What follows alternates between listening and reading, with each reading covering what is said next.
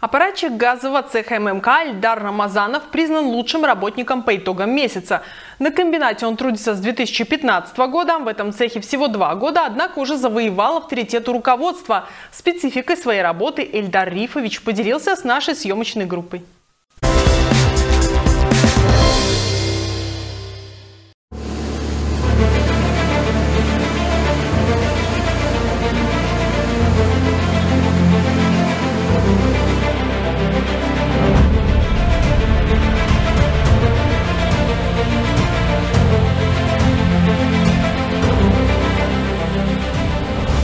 Этот участок э, занимается очисткой э, и охлаждением доменного газа. Э, наша газоочистка состоит из комплекса аппаратов очистки газов, который включает в себя скрубер высокого давления, трубораспылитель, дроссельная группа и уже каплеотделитель. Получается постепенная происходит очистка газа который в последующем доменный газ уже идет к потребителям ПАО ММК.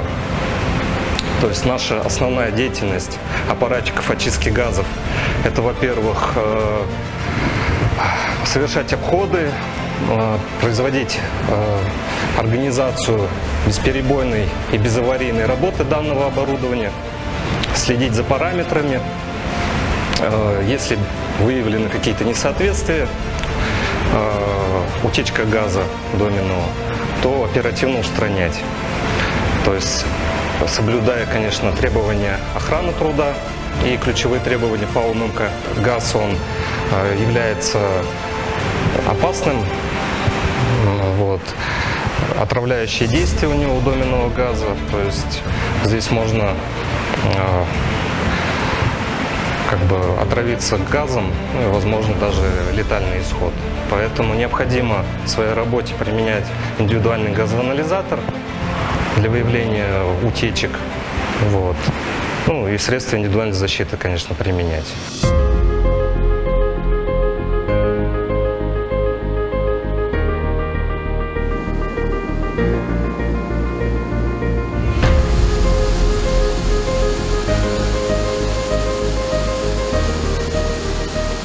На комбинат я пришел в 2015 году, а, устроился в паросиловой цех. А, заканчивал я наш технический университет имени Носова на промышленную теплоэнергетику, поэтому а, выбор у меня остановился на сторону энергетики, можно сказать. Вот. Отработал там 7 лет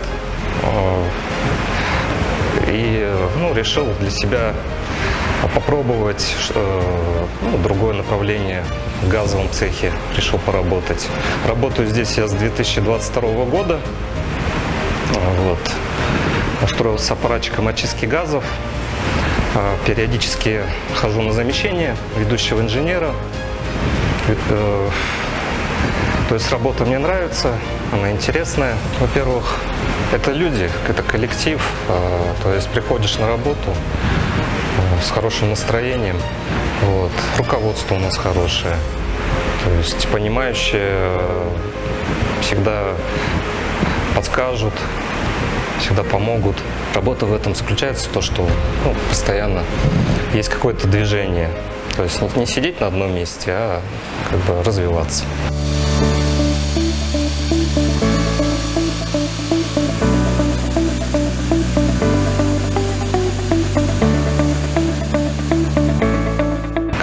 Как молодых работников, отправляли на научно-техническую конференцию. Данная работа, она, во-первых, а, дает э, возможность реализовать свои, свой потенциал.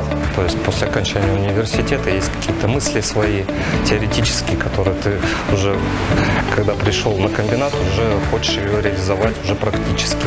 Свободное время, а, ну, спортом, конечно, то есть э, вот велосипед есть, на велосипеде катаюсь, баскетбол играю. Я работаю а, каждый день, ну, вкладывая что-то новое в свою работу. Поэтому ну, на месте не стою, двигаюсь вперед.